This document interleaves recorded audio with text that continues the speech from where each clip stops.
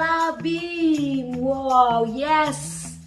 I become a magician today. Isapsari hari ini menjadi seorang magician. You know what magician is? Pesulap. Yay! This is my magic wand. Tongkat ajaib. Hmm. We will learn about this occupation. Kita akan belajar tentang profesi ini orang pesulap. Oh, wait, I forgot my time. Saya lupa nih desinya. Hmm. And simsalabim abracadabra.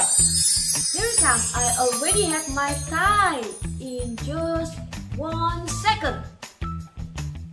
Right? Magician, pesulap. Hmm, apa saja ya yang bisa dilakukan pesulap?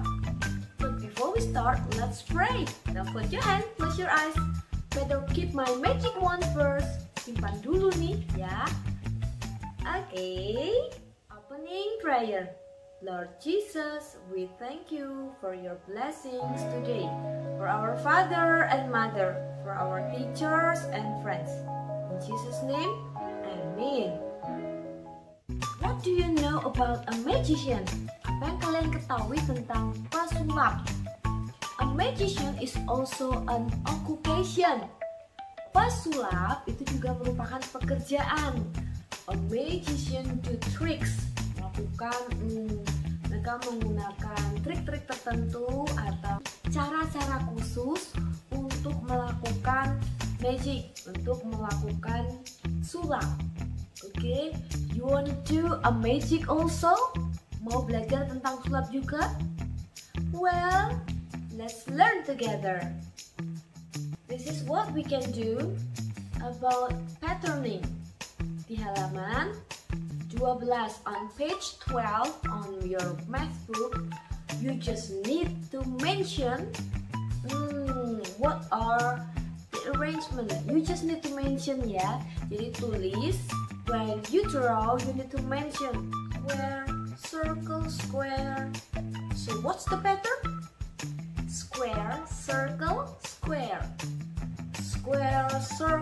Square. What comes next? Square, circle, square. Good. Good try. Now let's try once again. Circle, triangle, square. Circle, triangle, square. Jadi kalian hanya perlu mengurutkan, but don't forget, kalian hanya perlu mengurutkan ya, tapi jangan lupa sambil disebutkan supaya ingat nama bentuknya. Good job. Now let's try uh, magic. What you need to do is straw. You need two straws. Ya, hanya membutuhkan dua sedotan, and then a bottle. What can we do? Okay, let's check this out. Baik, jadi sedotan ini kita gosokkan dengan bersamaan boleh digosok di celana atau di lembutmu sampai terasa panas. Kemudian letakkan salah satu sedotan di atas tutup botolnya. Nah, dan dekatkan salah apa sedotan yang lain. Nah, ajaib, dia akan bergerak sendiri seperti ini. Selamat mencoba.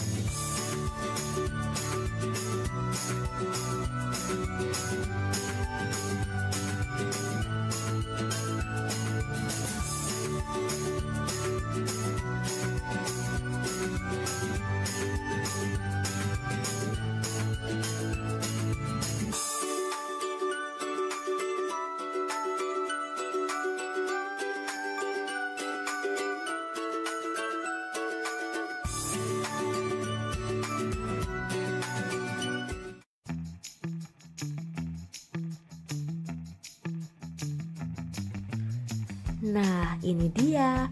Arrange the pattern.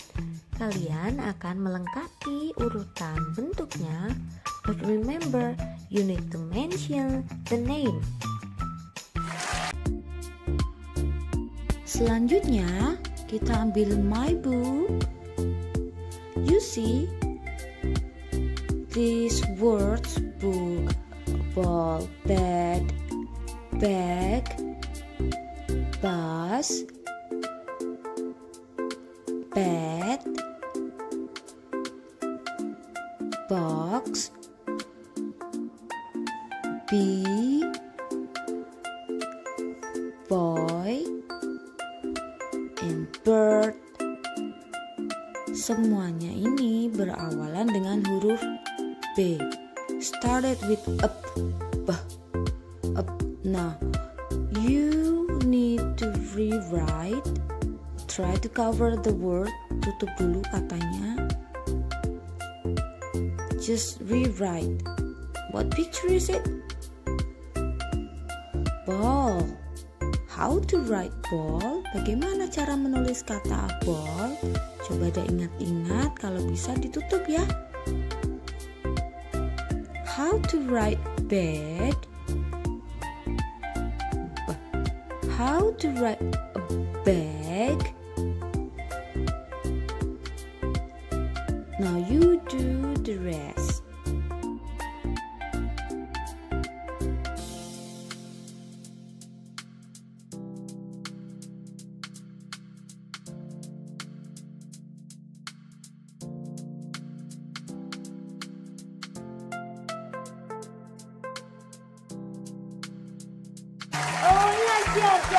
You, thank you, thank you. Wow, what a magic thought we have already made today. Ya, luar biasa. Kita sudah membuat dan bermain tentang sulap hari. That's what we have learned about magician today. Now, now it's time for us to pray. Uh, magic will happen. Keajaiban akan selalu terjadi di dalam nama Tuhan Yesus ya. When you want something and you want something a miracle and magic that Jesus wants to send you kalau punya uh, ingin sesuatu miracle, keajaiban atau magic, Tuhan bisa ciptakan itu dengan you keep praying, right? Okay, now put your hand, close your eyes. Closing prayer. Lord Jesus, we thank you for guiding us today.